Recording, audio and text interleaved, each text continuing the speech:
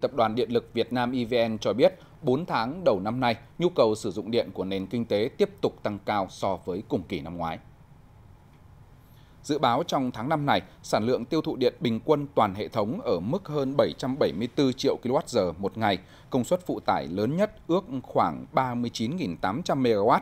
Với tình hình thời tiết nắng nóng gây gắt kéo dài ở cả ba miền, EVN sẽ khai thác tối đa năng lượng tái tạo, điều tiết các hồ thủy điện theo kế hoạch và bảo đảm cấp nước cho các địa phương và người tiêu dùng.